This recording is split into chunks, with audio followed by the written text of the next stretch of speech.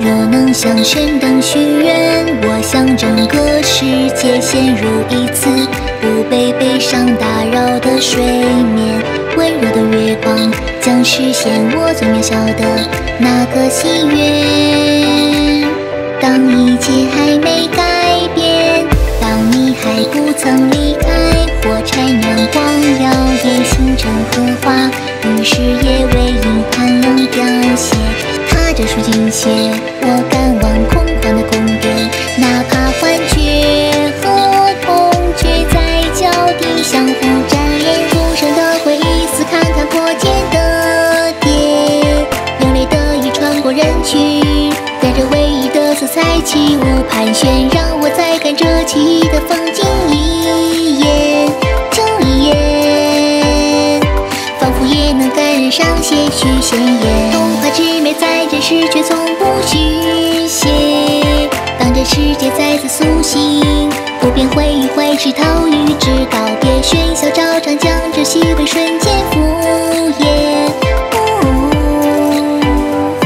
无人会关心美好与死沉淀。时针停在相互拥抱的前一秒，凝视每件事的空白，等待缝隙被缺失章节填满。等某个人回来，没想过会有一天，我竟然对铭记这场梦境感到前所未有的疲倦。相同的画面，我精心复原几百遍，语言之人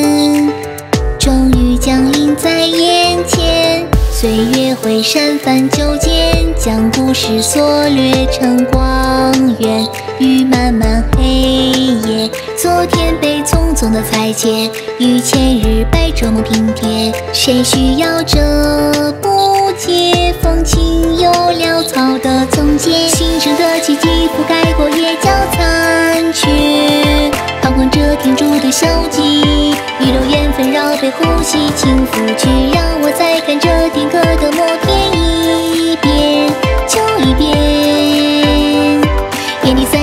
谁来换片书签？童话之美在真实，却从不虚写。从现在起，期待明天，明天会不会出现在下一页？